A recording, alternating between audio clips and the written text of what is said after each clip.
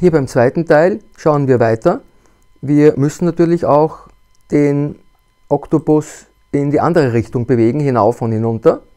Da sollen wir eben die Y-Richtung machen. Wir machen Copy V und machen jetzt eben Pfeil nach oben. Achtung, da brauchen wir hier jetzt aber die Y-Richtung. Wir nehmen ändere Y um 10.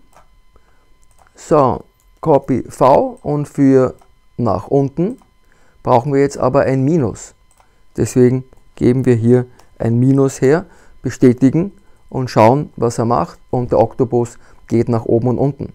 Wir brauchen eine zweite Figur natürlich auch. Schauen wir weiter. Ja, wir sollen einen Star auswählen. Das machen wir auch gleich. Suchen wir einen Stern aus. Man kann natürlich alles andere auch nehmen. Da ist er schon, der Stern. Und dieser Stern braucht Befehle. Diese Befehle suchen wir uns gleich aus im nächsten Bild. Was soll er machen? Wenn wir das Spiel anklicken, soll dieser Stern einfach herumlaufen mit einer random zufälligen Position. Ansonsten wird er, wer das nicht versteht, umschalten auf Deutsch. Aber wir machen ja gleich weiter. Ereignisse Englisch. Wir nehmen den Anfang. Wir wollen forever.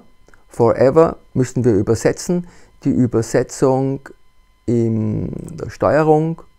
Wiederhole zehnmal. Nein, wiederhole fortlaufend. Immer. Und hineingeben sollen wir gleite eine Sekunde in einer Zufallsposition, gehen wir in die Bewegung, eine Sekunde, gleite eine Sekunde, da haben wir es schon. So, und das sollte funktionieren. Schauen wir hinein, ja, er gleitet schon. Weiter geht es dann im nächsten Video, sonst selber weitermachen.